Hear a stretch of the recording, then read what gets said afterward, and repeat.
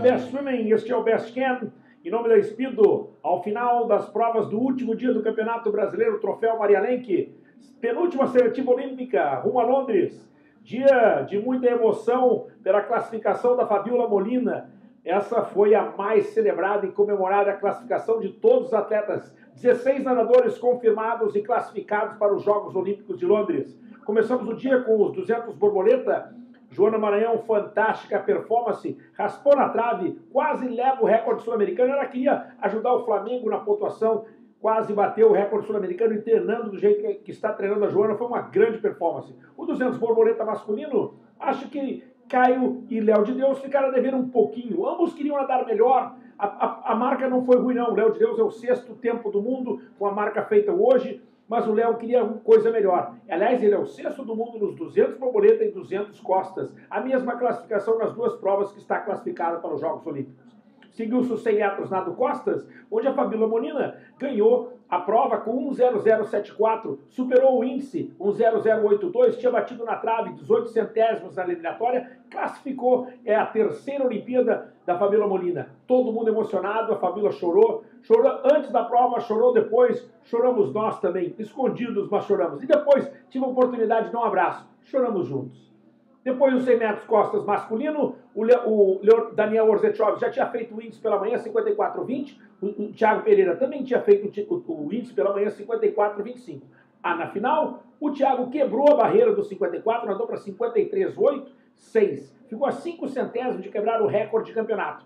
O Thiago, que é o final da prova, para o Sport TV, confirmou que não queria, não tinha intenção de nadar essa prova nos Jogos Olímpicos ao ser informado pela repórter Bruna Gosling, do Sport TV, não, mas o Albertinho já disse que você vai nadar. E ele respondeu, se o chefão disse que eu vou nadar, então eu vou nadar. Na verdade, o Thiago Pereira não quer nadar os 100 metros nado costas em Londres, ele quer nadar o revezamento 4 por 100 metros. Mas o Albertinho já fez a interpretação, se você quer nadar o revezamento, você tem que nadar a prova. E nada mais certo é o que ele vai nadar. Depois, o 400 metros nado livre, um show da Mireia Belmonte, a espanhola, que eu estava a esperar um pouquinho mais dela em toda a competição, e ela realmente no final, no apagar das luzes, 4:05:70, quinto melhor tempo do mundo este ano, uma performance quase quebrando a sua própria marca, eh, melhor marca pessoal, inclusive foi o segundo melhor índice técnico da competição.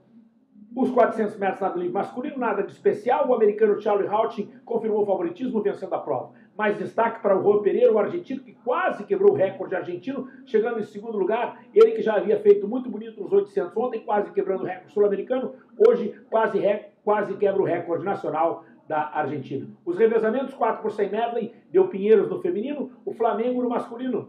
Todo mundo comemorou, acha que foi o Cielo com 47,67 que fez a diferença? Eu não acho não. Foi Felipe Nobre Xavier, um excelente parcial de borboleta, ele que fez muita diferença. Caiu atrás do Gabriel Mangabeira, que era favorito do menor tempo, mas foi lá e foi buscar e o Flamengo acabou sendo campeão do 4 por 100 medley. 4 por 100 medley que deu a última vitória ao Flamengo e o Flamengo é o grande campeão do troféu Maria Lenk. Pinheiros terminou em segundo lugar, o terceiro lugar para o Corinthians, o quarto Minas, quinto lugar o Unisanta.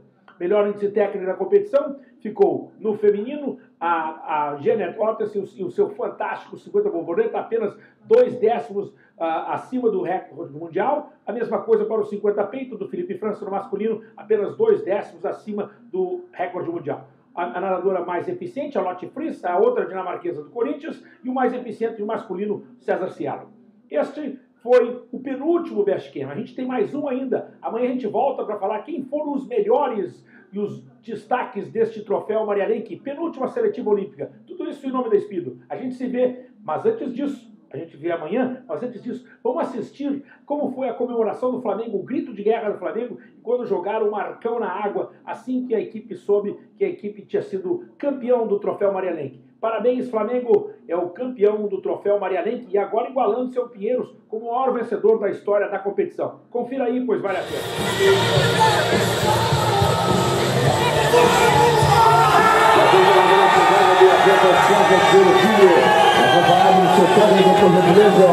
para receber a sua direção.